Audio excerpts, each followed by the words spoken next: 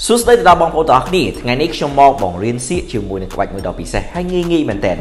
មើលទាំងអស់គ្នានៅលើតុនេះខ្ញុំបានមានជាមួយនឹងអេប៉ុងចំនួន3 1 2និង3ខ្ញុំយកទី1ដាក់ចូលកែវទឹកនេះទី2និងទី3តែដាក់ចូលទេដាក់ចូលកប៉ៅរបស់ខ្ញុំដាក់ចូលបែបនេះមើលទាំងអស់គ្នាអូខេបន្ទាប់មកទៀតអេប៉ុងចំនួន2មួយក្នុងកប៉ៅខ្ញុំនឹងឲ្យមួយក្នុងកប៉ៅរត់ចូលក្នុងកែវទឹក1 2 3អាយ៉ា គឺ3ហេអូខេកែវនេះគឺមិនមានអ្វីទេបងប្អូនអាចមើលបានបាទខ្ញុំដាក់នៅលើតុម្ដងទៀតខ្ញុំគិតថាប្រហែលជាលឿនពេកយឺតយឺតជាងអាមាញ់មិញ1ដាក់ចូល2ដាក់ចូលទី3មើលឲ្យតន់ខ្ញុំដាក់ចូលបែបនេះមើលទាំងអស់គ្នា1 2 3ចូលកែវទឹកភ្លាមគឺបានបាត់ហើយអ្វីដែលពិសេសគឺវានៅក្នុងកែវទឹកទាំង3បាទងាយងាយមែនតើ បងប្អូនបាទជាចង់ចេះជាមួយនឹងក្បាច់នេះអូខេពេលនេះយើងមករៀនជាមួយនឹងក្បាច់អេប៉ុង3រត់ចេញពីកែវចុះឡើង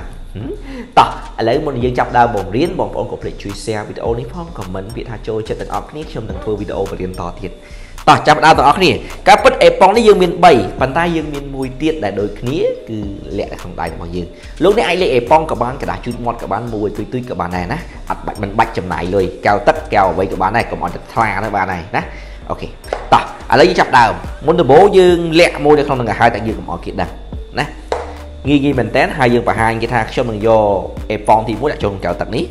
អេប៉ុងទី2ដាក់ចូលកែវទឹកនេះនិងអេប៉ុងទី3ខ្ញុំមកដាក់ចូលទេដាក់ចូលក្នុងខោប៉ៅបាទដាក់ចូលកប៉ៅនេះមើលទាំងអស់គ្នាបបមើលទាំងអស់គ្នាមួយទៀតក្នុងកប៉ៅប៉ុន្តែមួយប្រព្រិចភ្នែកខ្ញុំនឹងធ្វើឲ្យអេប៉ុងមួយទៀតចូលក្នុងកែវទឹកនេះវិញ1 2 3ចាក់មក អូនៅក្នុងនេះមែនកាពិតអឺនៅអ្វីចាប់ដើមសម្ដែងយើងបានលាក់មកក្របនៅក្នុងរឿងជាស្រេចអូខេអញ្ចឹងងាយងាយមែនតើក្បាច់ទី2ក្បាច់ទី2ខ្ញុំសុំតបងប្អូនអរគ្នាក្បាច់ទី2ដែលខ្ញុំសម្ដែងខ្ញុំសុំតកាពិតដល់ពេលដែលយើងនេះដាក់ក្នុងកប៉ៅនេះកាពិតយើងមិនបានដាក់ឯណាយើងលាក់នៅក្នុងដៃរបស់យើងហើយដូចស្រេចណាបងប្អូនអរគ្នាតែបងប្អូនត្រូវកាន់តែជាប់ហើយកាយវិការកុំនៅស្ងៀមបាទពេលដែលយើងបង្ហាញកែវថាកែវអត់មានអីទេយើងយកដៃនេះដែលមានអេប៉ុងនេះនេះអេប៉ុងនេះដែលបងប្អូនអរគ្នាមានអេប៉ុងនេះយើងកាន់វាជាប់ ហើយយើងតម្លាក់វាតម្លាក់វាតម្លាក់វាចូលកែវទឹកមក